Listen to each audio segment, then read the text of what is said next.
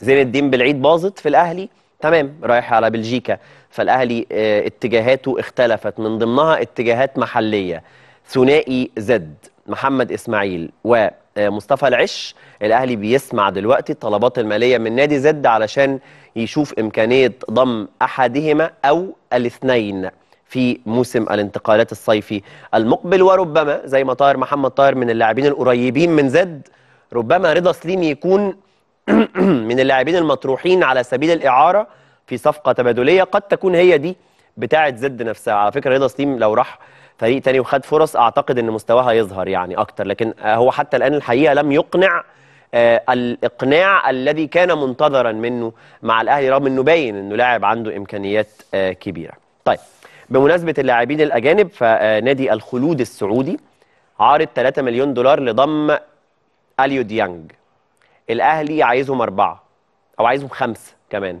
طبعا خمسة ده ممكن تقول إن رقم كبير شوية فالوصول لأربعة هيبقى كويس. ولو وصل خلصت عند ثلاثة أعتقد برضو القصة هتبقى آه بتتم في النهاية لأن كولر نفسه ما عندوش أي مانع في رحيل ديانج. في ناس كتبت النهارده وامبارح طب بما إن أشرف بن شرقي لسه ما تحددش ناديه اللي جاي ما نضم أشرف بن شرقي ده فيما يخص الأهلي الإجابة آه إنه الأهلي لا يفكر في أشرف بن شرقي لأسباب مالية. شايفين إنه طلباته المالية كبيرة أرقامه اللي بيتقاضاها كبيرة ولأسباب فنية إنه شايف إنه ليس في حاجة إلى اللاعب باعتبار إنه مش في نفس مستوى أشرف بن شرقي اللي كان عليه في الزمالك. وإن كان أرقامه الحقيقة في الموسم اللي فات آه مع الريان كانت برضو أرقام كويسة جدا. كان بيلعب أغلب الماتشات لعبها 90 دقيقة وكان مسجل 10 تجوال وعامل 6 أسيست. لكن الأهلي يرى انه آه اللاعب مش في حساباته حاليا.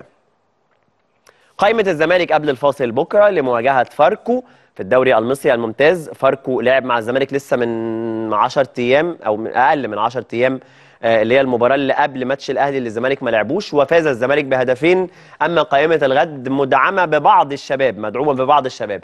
فيها محمد صبحي اللي لسه مجدد عقده ومحمد عواد اللي هينتهي عقده لكن لسه الموقف لم يحسم وعمر عبد العزيز في حراسة المرمى. في الدفاع حمزة المثلوسي حسام عبد المجيد أحمد مجدي الشاب وعمر جابر. بلا ظهراء أيسر لكن طبعا فيهم نبيل فيهم آه، إنداي إذا أراد الراجل فيهم عمر جابر إذا أراد الراجل ومحمد شحاتة اللي موجود في نص الملعب ممكن يبقى باك يمين عادي زي الماتش اللي فات والماتشات اللي فاتت. دونجا زياد كمال محمد السيد الشاب عمار ياسر اللاعب اللي آه، شارك آه، بديلا في المباراة الماضية وشارك قدام فاركو في الماتش اللي قبليه برضه ترافيس موتيابا وسيد عبد الله نيمار ناصر ماهر عبد الله السعيد محمد عاطف الهجوم أوباما ومصطفى شلبي وأحمد مصطفى زيزو. اذا الغيابات كثيرة وهي شيكابالا من زمان غايب من 21 إبريل من بعد من قبل الكونفدرالية النهائي بسبب إصابة بمزق في العضلة الأمامية. المشكلة في تطويل الإصابة هو إن العضلة التئامها بطيء. دي المشكلة. أحمد فتوح بسبب إصابة في كاحل القدم سيف الجزيري بسبب إصابة في الخلفية وهي نفس إصابة سيف جعفر ونفس إصابة مصطفى الزناري اللي برضه غيابه مطول من قبل نهائي الكونفدرالية. سامسون أكينيولا لسه ما رجعش مصر. ناصر منسي آه عضلة خلفية